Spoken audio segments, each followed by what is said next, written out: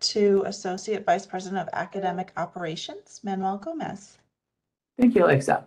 I am Manuel Gomez, uh, your AVP for Academic Operations. Um, and it's a pleasure to be- visit with you and introduce our two presenters. Ms. Brenda Whalen, uh, she's our Deputy CIO for Enterprise Applications, and Ms. Lourdes Cruz, she's the Executive Director for Student Information Services. Today's webinar is designed to give us an update on the work to adapt Banner, which is our student information system, to serve us under a new paradigm for CT State. A lot of good work has been completed and a significant number of projects associated with the integration of technologies is currently underway. Our panelists uh, represent some of the departments and colleagues who worked to plan our transitions and future implementations of new processes and resources. And Ms. Brenda Whalen will get us started.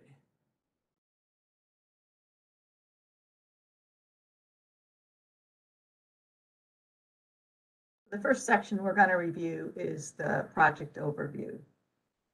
What is the One College Banner Project? One College, sorry, not advancing. There we go. The One College Banner Project includes the transition from the 12 college banner into the new streamlined, standardized, and simplified instance of CT State's banner, as well as the implementation of the other third-party products.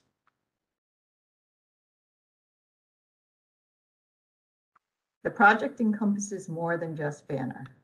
In addition to standing up the new instance of Banner, CT State is simultaneously implementing the one college version of products shown below. There are just a few balls in the air.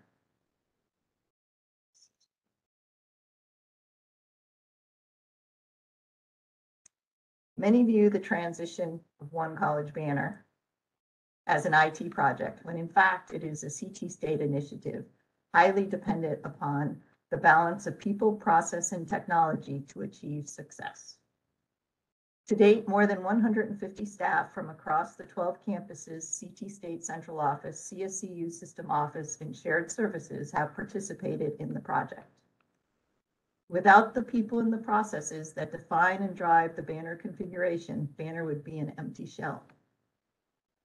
In today's world, without Banner and our th- other third-party products, CT State would not have the administrative tools necessary to support all the activities shown here.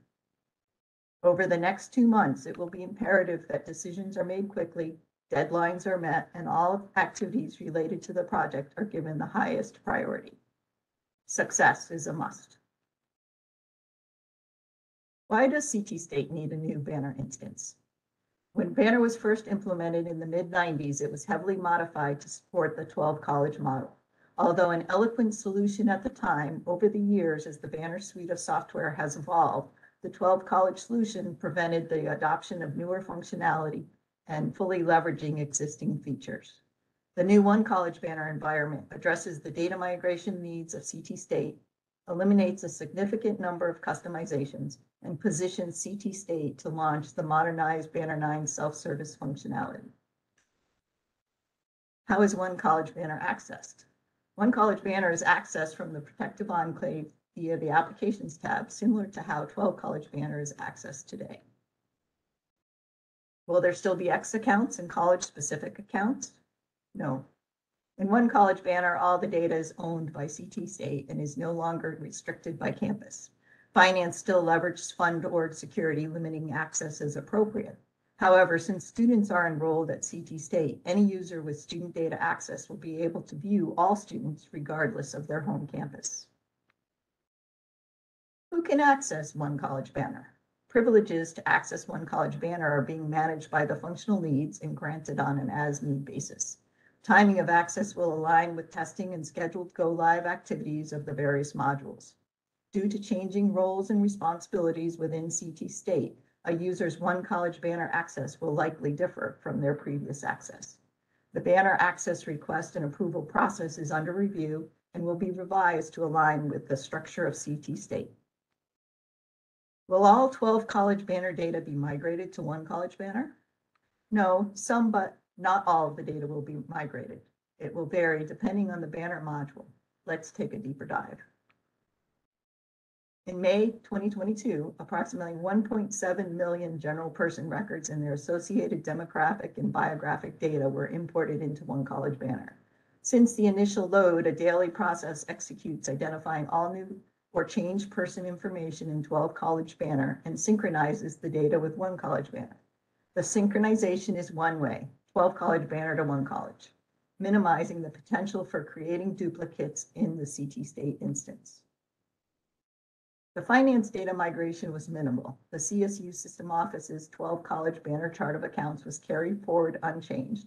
All vendors with purchase orders or payment activity since July of 2019 were, were migrated, and fixed asset information was converted into One College Banner. CT State will begin processing financial aid as of aid year 23-24.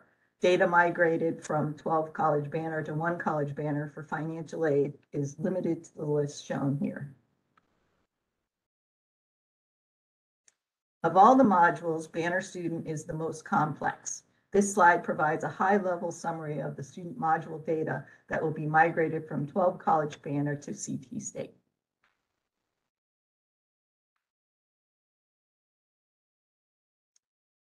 Detail codes are the heart of student accounts receivable module and are necessary to support the tuition and fee assessment process.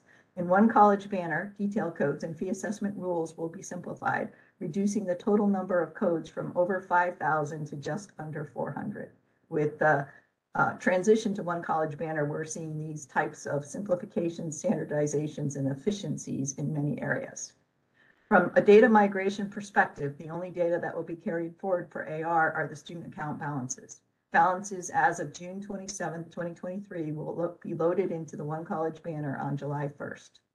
The information will be broken into three categories shown here for the student accounts.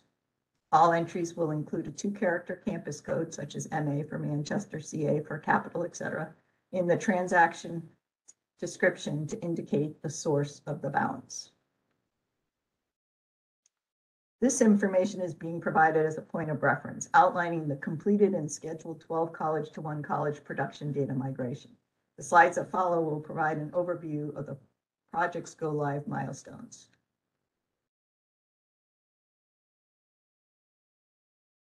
Shown here is a high-level overview of the go-live milestones for the entire One College Banner project.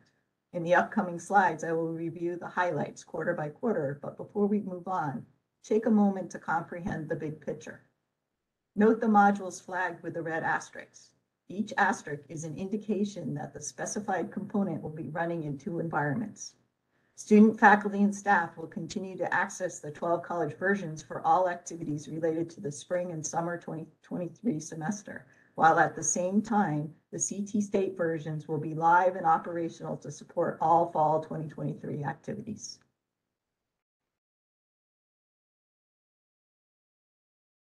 In July of 2022, finance was the first Connecticut State banner module to go live. Key changes during the implementation included a new chart of accounts designed to support financial transaction and reporting for CT State. Banner 9 self-service online requisitions and approval functionality was deployed along with the ability to attach supporting documents leveraging the Hyland OnBase document imaging functionality. It should be noted that CT State is the first institution within CSCU that has implemented Banner 9 finance self-service. Today, online requisitions and approval functionality is being leveraged at the CT State Central Office, CSCU System Office, and six of the 12 campuses. The remaining campuses will be onboarded in the upcoming months. Training is available every Tuesday at 11 and 2, now through March. HR and payroll went live in August when the first payroll for fiscal 23 was processed, feeding the data from Core CT through the Banner HR payroll module and into finance. To date, eight of 10 payrolls have been processed and the recoding and Chartfield 2 Banner admin forms are now available at the campus. It has not been all sunshine and rainbows, but by bringing the team to the table to focus on the process and technology, the issues should be behind us. The first student module components to go live were the catalog, were cataloging curriculum. In September, Ellucian loaded the CT State undergraduate and workforce development catalogs and programs into one college banner. Academic operations and workforce development are in the process of va- validating and revising the data as needed. Academic operations is also recognized, reconciling the banner catalog with the online catalog published via Acalog. On October 1st, 2022, CT State began accepting applications for fall 2023. As of December 3rd, 2022, CT State has 5,670 opportunities in the admissions funnel. A nomination for CT State's CRM Recruit implementation has been submitted to Ellucian for an impact award. If selected, CT State will receive a $25,000 institutional grant. Financial aid went live the first week of November. As of December 5th, 1,712 aid applications have been received. On December 2nd, 6,520 faculty and advisor records were imported from 12 College Banner into one College Banner. The data migration was limited to instructors with teaching assignments and or advisors with assigned advisees since fall of 2018. End-to-end testing. The final validation of the One College Banner environment configuration is scheduled the week of February 20th. The test plan will exercise all banner and third-party application functionality from admissions to degree completion and end-of-term processing. At the conclusion of the end-to-end testing, the CT State AVPs that have been involved with the project will be, be required to sign off and approve the production data migration and go live. In IT speak, this is the go, no-go decision. Mid-March will be an exciting time as the following applications are launched in production.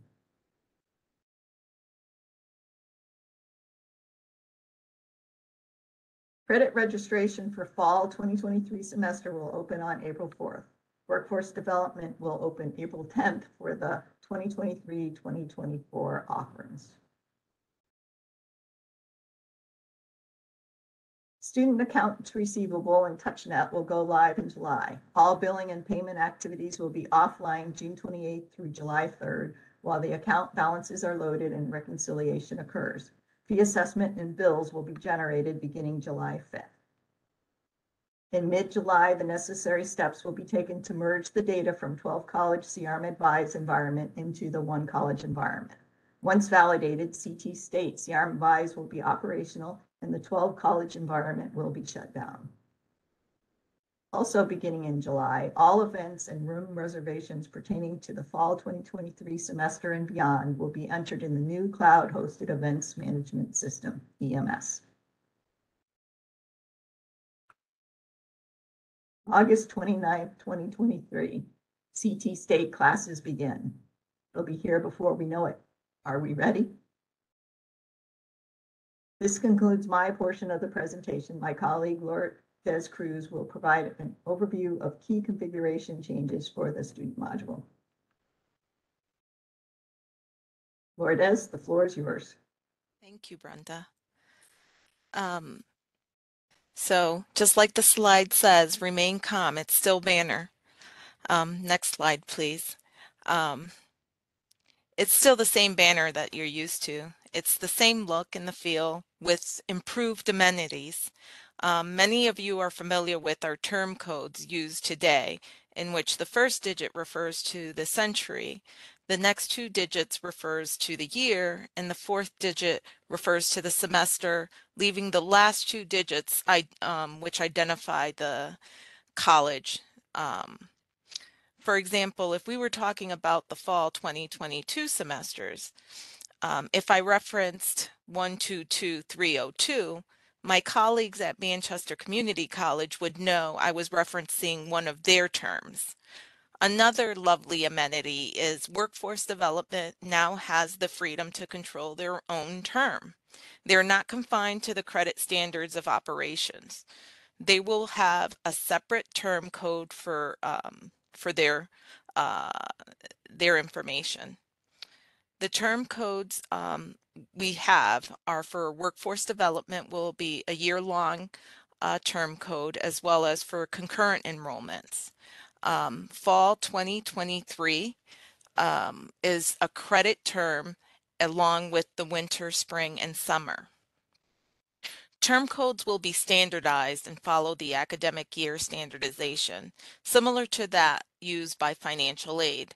For example, um, for academic year 2023, 2024, the academic year in the term code will include 2024.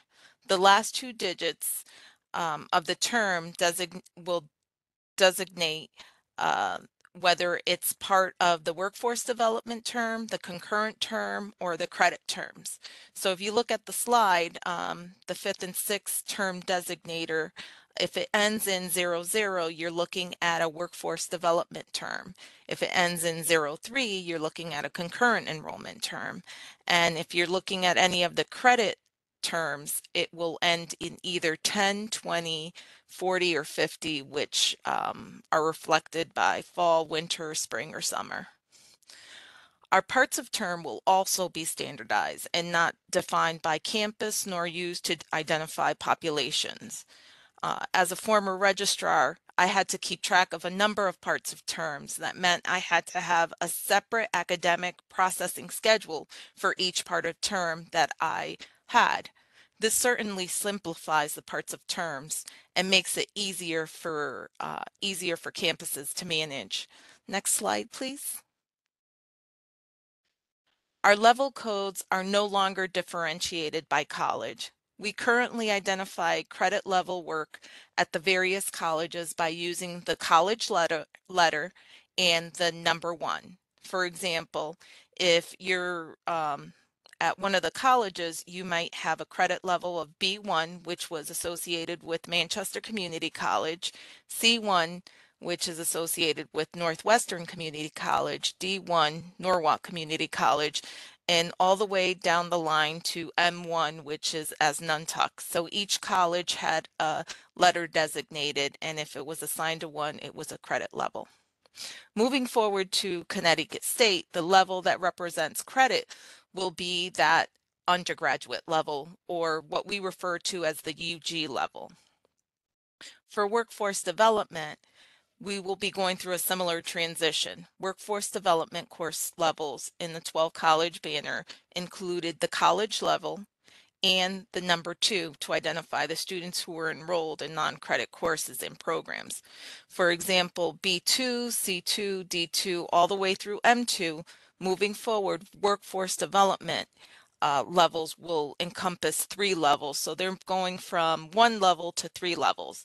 In the one college, they'll have business and industry level, personal enrichment, workforce development. Next uh, slide, please. In the 12 college, we have the alphanumeric program codes that are college specific for um, for each of the campuses.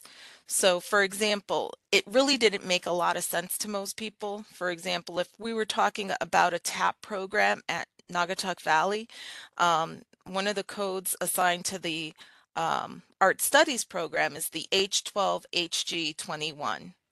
I know um, many of you uh, probably say, well, what does that mean? It really only meant something to someone at Naugatuck Valley because they could um, identify with the code. In the one college, the credit program codes are set up to include the major, the degree, and at times the area of studies or the TAP programs. So if you're looking at the program examples, you can see that we have the accounting AS degree, and we have also the accounting um, certificate. And if you go the third one down is the TAP program. So the TAP is actually part of the program code. Um, for our general studies and liberal arts and science program, um, those also include the area of studies. So those program codes will include the area of studies, which um, we have six, which is the arts and humanities, the business and hospitality, engineering and technology, nursing and health careers, social and behavioral science, and sciences and mathematics. Um, in the one college, we already have 301 program codes set up. There's 139 Associates of Science program codes, 36 Associate of Arts, 13 Associates of Applied Science, and 113 credit certificate programs. Next slide, please. Workforce development is a little bit different from credit program codes as they have one program code for multiple majors. So currently when you you're um, you're used to seeing the alphanumeric program codes um, which again doesn't really make a whole lot of sense unless you're a part of that campus. Um, if we were talking about a food program at Naugatuck Valley, um, the program code would be H23HQFO. Doesn't make a lot of sense. Um, and it's associated with the major institutional food worker, um, which has HQFS and um, which again, if you didn't know the program, you'd have to search for it. The major, you would have to search for it. Um, so in the one college, the naming convention is um, a little bit easier. Um, for workforce development, their naming convention is they have an un- umbrella category followed by the WD designation and the major code if applicable. For example, if you're looking at the Administrative Office Procedures um, program code, the AOP WD uh, program code, this includes multiple majors. So you can select um, Administrative Medical Assistant as a major or Medical Office Assistant or Patient Navigator. Um, we used to identify workforce development programs as a priority too. Many of the folks in the registrar's office know what I'm talking about. Um, but in the one college, this will be switching to a priority 80 because they'll have their own term code. So they'll have their own priority as well. Um, currently we have in the one college we have 65 workforce development programs which encompasses 113 majors next uh, slide please Majors are also standardized in the one college banner. There's no longer going to be the alphanumeric. It doesn't make any sense. You're really not going to know, you know, what HFPQ means. Um, so uh, in the one college, it makes a little bit more sense. Um, so the accounting major is ACCT, the auto is AUTO, and so on. Um, and many of the majors um, go over both uh, credit and workforce development. So you'll see some of these um, majors within the program code for the UG level um, program codes, and you'll see them in the workforce development uh, program codes as well. Next slide, please. The subject codes and course, course numbers will be standardized as well. There'll be no asterisk after, after the subject code and no letter in front of the course number.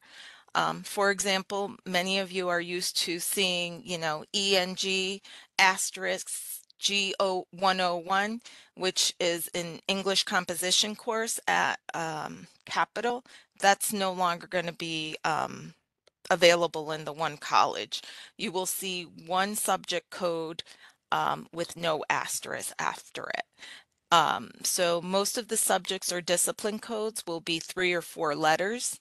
Subject codes can be shared within um, the UG and the workforce development. So you'll see them um, in some cases, you'll see subject codes of EDUC education for both workforce development and in the undergraduate catalog. Next slide, please. Course numbers will be four digits and standardized as well. The first digit will indicate the level of the course. Courses that are designated 0899 or lower are workforce development courses and fall within either the workforce development, business and industry level, or the personal enrichment level. Courses that are um, within the range of 0900 to 0999 are developmental courses. These courses, um, although they may earn credit, do not meet degree requirements. Courses that are um, from 1000 to 1999, these courses are used, usually taken as part of the first year of study program. Um, and many of these courses are prerequisites to more advanced or professional courses. The courses 2000 to 2999 are usually taken as part of the second year of study program um, and are usually usually have prerequisites and it's usually taken by a student who's matriculated in a certificate or degree program. The second digit can indicate a, spe a specific area of focus um, and usually this is determined by the discipline. Um, they'll make those decisions. Um, the third and fourth digit are sequential and do not have a specific meaning, except if in the case if they're in this reserved um, designator group. Um, these have already been identified um, for um, specific courses. So if you see these, these are the only ones that um, are uh, specific. Next slide, please. The CRNs or the course reference numbers were different depending on the campus. Some campuses use four digits CRNs, others used five digit CRNs. Moving to the Connecticut state, we're standardizing this and we're going to use the five digit CRN. For credit, or UG level courses, the first two dig digits will represent the term designation. So if it starts with 10, it usually is a course that falls within the fall. So usually that would be 10,001 um, for the first CRN. If the number starts with 20, um, that's a winter course for credit. If it starts with for, with 40, um, that's spring and 50 summer. Um, for, for the concurrent enrollment semester, the first two digits will start with 70. So in addition to knowing that the term code for um, the concurrent semester will end with 03, this is an, another quick way to know which um, term you're in or which students you're working with. Um, so the first two digits will be 70 if you're working with workforce development, if um, you're in that particular term code, um, you'll see that the CRNs will start with 80. So the first one will be 80,001. Next slide, please. Campus codes now represent actual locations. Um, so the two character alpha will represent the primary and satellite campus location. For example, AS for Asnuntuck, CA for Capital, DB for Danbury. Um, HSC will represent all high schools and the actual high school location will be maintained in the building code. So this information will still be available um, so that you know what high school uh, the person is taking the course at. The military locations will have a three character alpha code assigned to them. Um, that's not HSC. So um, the Navy submarine base will have NSB, uh, the Coast Guard base will be CSB. The correctional facilities will have unique campus codes that begin with X. X representing the correctional facilities um, as seen in the example. So um, XCH would be Cheshire Correctional and so on. In addition, there will be uh, an OFF and an ONL campus representing off-campus sites and online course offerings. Next slide, please. So this is probably the one that you all want to know about. How will the home campus be assigned? For new students, this will be selected during their application process. For continuing students, um, this will be assigned during the data migration. Now, there are some criterias um, for the home campus designation. The first thing to keep in mind is that um, the home campus designation will only be assigned to students that have enrolled in one or more credit classes since fall of 2018. If the student has received financial aid since fall of uh, 2018, the college that award awarded the aid will be designated as the student's home campus. It should be noted that if a student is enrolled in multiple colleges, aid can only be awarded by one institution. So, um, but can cover the cost of the other 11 community colleges through the consortium agreement. In the one college, they'll be um, awarded um, aid at one college. In the one college, obviously. um, if no, if students have only attended one single college and has not received financial aid, the last college the student was enrolled at will be designated as the student's home campus. If the student has attended multiple colleges since fall of 2008 and has not received financial aid, the college with the highest earned institutional credit will be designated as the student's home campus. If the student has um, not received financial aid and maybe has taken um, the same amount of credits at multiple campuses, then the last college the student attended will be designated as their home campus. Um, next slide, please. So implications for the home campus. Um, really, this dictates the legacy college transcript that will become the foundation of Connecticut State's undergraduate level transcript.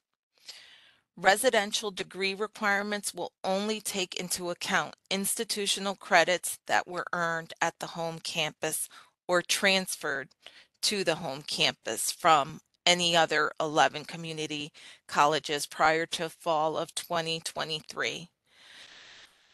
Next slide, please.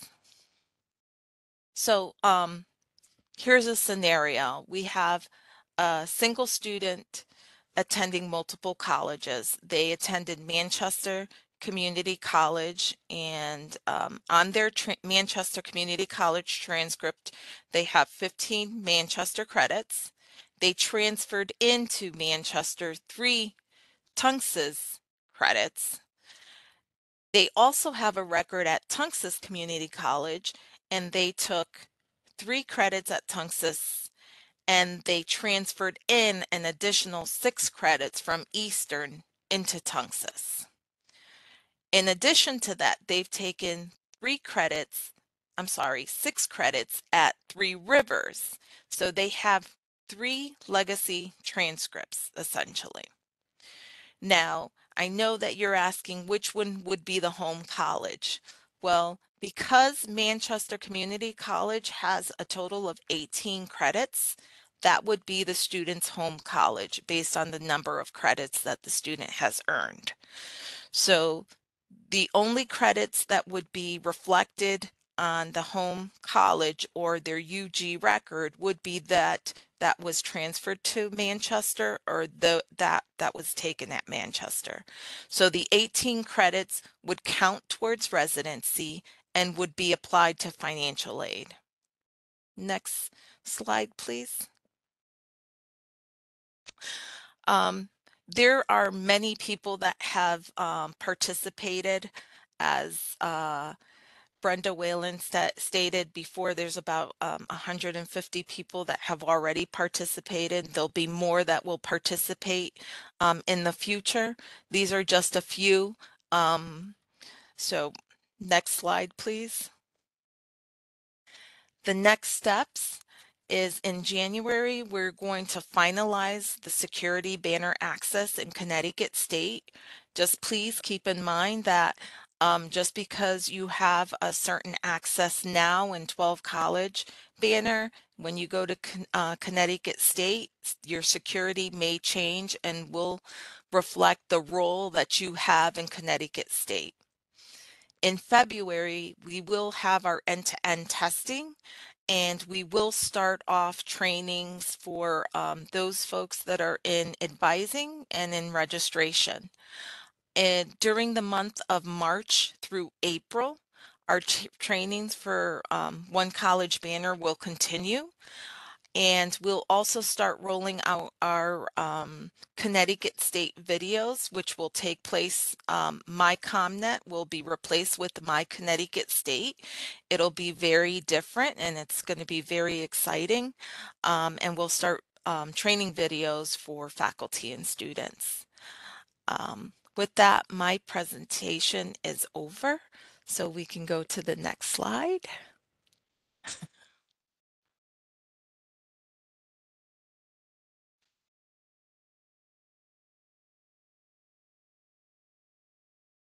And I think Manuel was going to. Oh, okay. Yes, so um, we have a couple of questions. Uh, we have several uh, congratulations, kudos, nice job uh, expressions, um, and a couple of questions for our panelists and presenters. Uh, question number one Could we get the CF2 numbers for each of our OR codes? I think uh, so, charter field two numbers. Um, and I think this was just as we were getting into the codes uh, part of the presentation. Um, which the charter? No, this is a finance Okay. question. Okay. Gail O'Neill is on the call. CF2, Okay.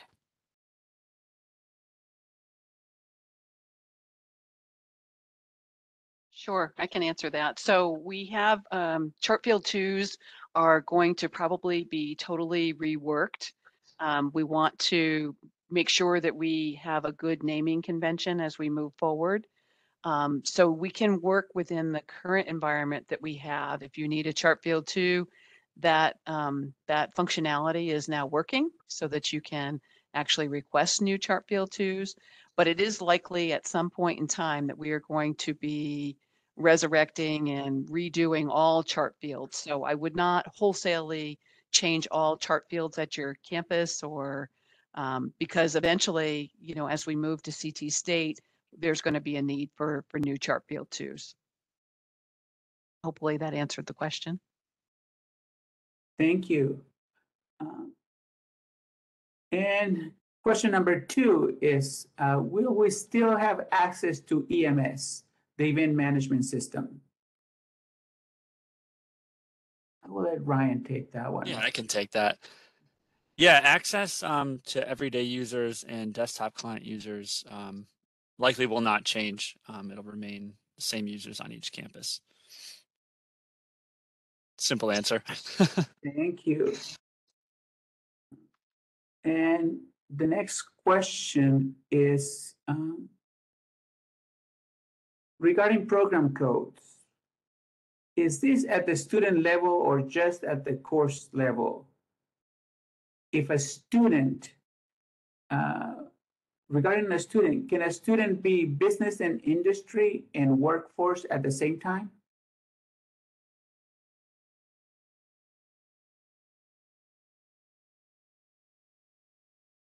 Sure, I can take that, Manuel. Um, yes, a student should be able to be a BNI and a workforce student at the same time. They would most likely come in under workforce, but if their um, employer wanted to sign them up for a BNI course, they should, um, would be able to do that. Thank you. Um,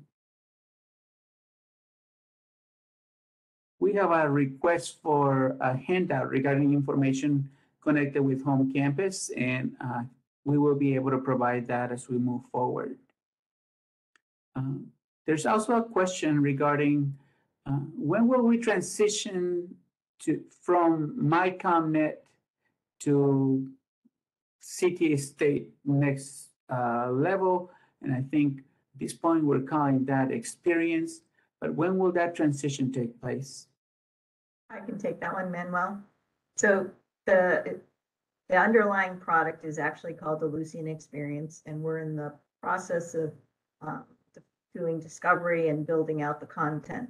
We are going to be going live with what will be called My CT State in March of 2023.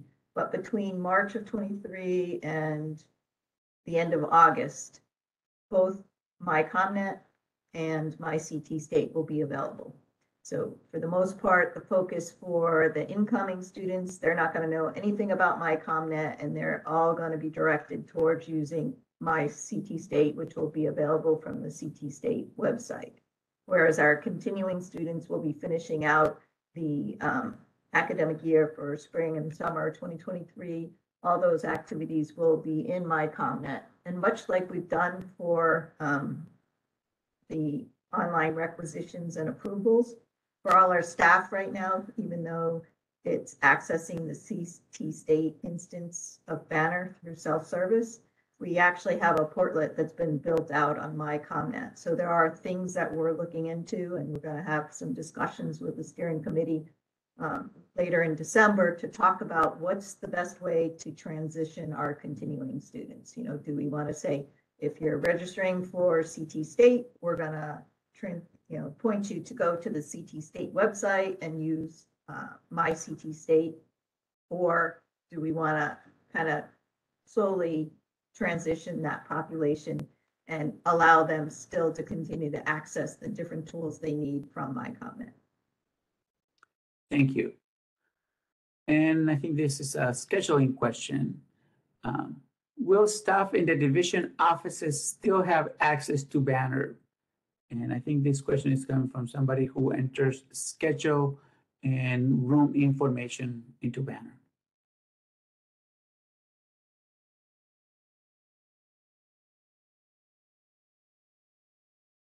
So Russell, um, I w- I'm not sure if um, Ryan wants to or if Jen, um, because it depends on uh, what your role is in one college banner um, or in the uh, CT state, I should say.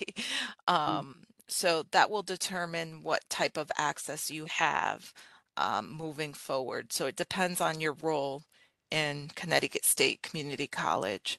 I'm not sure if I answered that. Um, And Ryan just uh, sent a message via Teams that his uh, technology crashed. Mhm. But um, yeah, so um, within the CT state structure, we will still have uh, colleagues at the campus level who will help enter or manage information connected with uh, events and rooms. Um, we will have colleagues who would support that type of uh, information management uh, connected with academics and also on the other side with um, student life campus events. And as Lourdes mentioned, um, access will depend on the type of role you are um, continuing to perform within the CT State structure. And both are connected with Banner and EMS. Uh, The second, and the, the next question uh, is with regards to codes uh, from high school students in Banner. And I'll probably butcher the pronunciation of some of these codes. So with regards to the entry of high schools in S O A H S C H and college in S O A P C O L, will the codes numbers change in one college banner or remain the same as in legacy?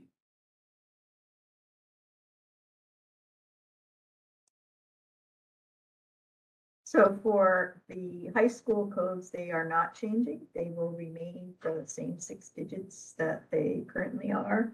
We have transitioned and uh, maybe Lourdes can speak a little bit more to it, but the college codes have been changed to uh, four-digit college codes.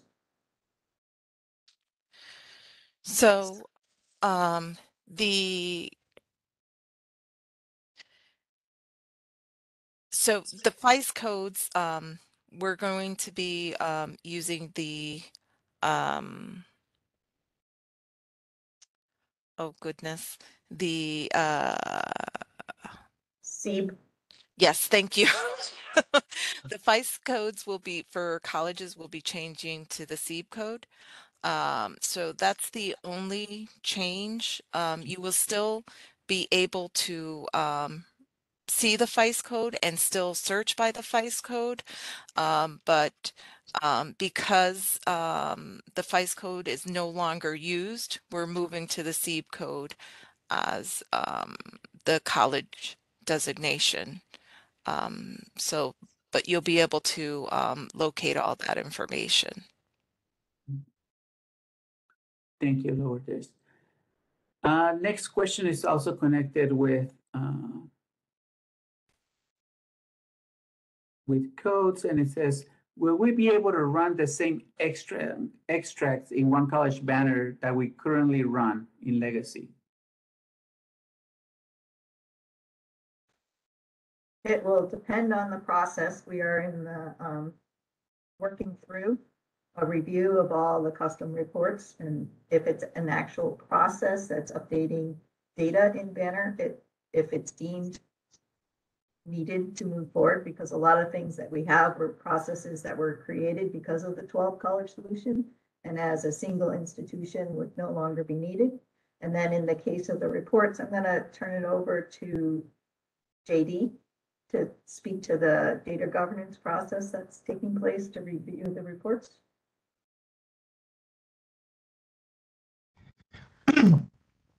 Certainly, yes. We are, um, Scott Zach and I, who lead the Joint Council for CT State Data Governance, are reviewing um, all the reports that are extant now to see which can be consolidated and which will be ported over to an appropriate BI tool for accessing uh, those those reports going forward. Thank you, JD. Um, The next question is associated with uh, banner codes used for ma, for finance. And um, the question asks whether there will be an opportunity to have access to additional finance codes. uh, As this webinar seemed to focus on academic um, codes. And do we have somebody from finance that could speak as to whether the codes currently used in finance will remain the same or whether they're shifting or changing? Sure, I can, I can address that. Um, we do have, um, finance codes and we recently went through a chart change this year where we added or changed all of our org codes. Um, so if there's anything that is needed on the campus, um, you can contact, uh, SO Finance Support. Um, and we do have a process to review, um, that information. And so if a code is needed, you know, please, please let us know. There are some other codes that um, do have governance around it where we have the FINAC committee um, would review anything that's um, account codes, program codes, account types, those type of things. Um, but we've had those in place since 2018, so we're, we are probably all set. But if you do have a need, you know, please um, email SO Finance Support and that information will get to the committee where we will review that. Thank you, Gail. Um, The next question is, will students' type codes remain the same? And will all students who enrolled in the um, calendar year 22, 2023 have a student type of code in the fall of 2023?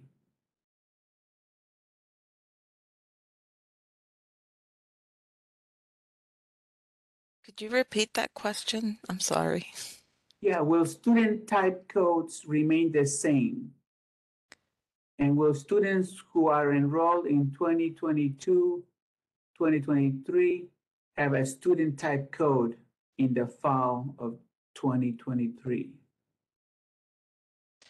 If they were a student, they would still be continuing. So their type code would be continuing. They would still be a continuing student. um, Thank you, Lourdes. So that Mhm. code will remain the same. that code will remain the same. Continuing is the same, but there are a couple that have changed to standardize. We can put more details in the um, frequently asked questions document. Can't recall off the top of my head the specifics, but I believe there are at, at least one or two that may have changed. Thank you, Brenda. And we have a question regarding CRM Advise. Will courses taken at colleges other than the student's home campus be reflected on degree works or just CRM Advise?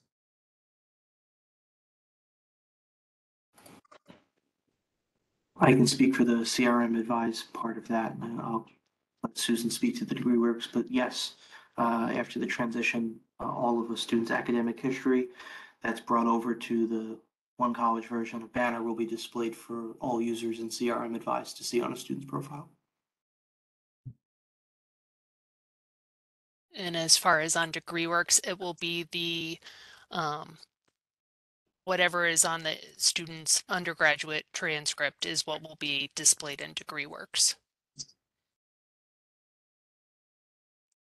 And I'll add one more piece to that is if people access the unofficial transcript in Banner Self-Service, they will be able to see all history. One of the things that we didn't mention um, when we're talking about data migration is that the way the data migration is being done, the um, we will have the capability to produce a transcript for the individual campus of any of the 12 campuses the way it would have appeared as of the end of summer 2023. You in self-service have the capability of seeing all of that detail. Thank you, Brenda. And I think as we continue to move forward and transition with the implementation and um, integration of resources, there will be additional conversations in the different departments and training sessions for the regular users of Banner and our systems to um, give them a, a, a more in-depth look at the work that has been done and the results of it for the end users. Those are all the questions that we had uh, today. At the, please do not hesitate to continue to put, post questions or send questions our way after the webinar. We'll, we'll add them to the frequently asked questions to make sure that uh, they can serve as a resource after the presentation has concluded. And I'd just like to add my thanks to everybody that has been working so hard, whether it's been on the One College Banner implementation, CRM Advise, Recruit, Degree Works. There's so many parts and pieces that are going on. There's people that are working on projects, uh, multiple projects. Our, our finance folks, we're doing double duty on finance and AR. I think there's a huge relief there now that finance, it still has its challenges, but it's live and they're not having as many meetings with regards to training and configuration and so on and so forth. And the efforts that people have been putting forth to meet deadlines, to, to get the catalog out there, to be ready to go live, you know, um, I just want to reiterate, success is a must. And there's a lot of work to be done between now and the end-to-end testing that begins in February. And that's really at that point in time, for the most part, we need to be ready to go. And so I, I thank everybody for all the work they have done already. And I'm going to thank you for all the work that many of you will be doing in the upcoming months. It's much appreciated. Thank you. Thanks, everyone.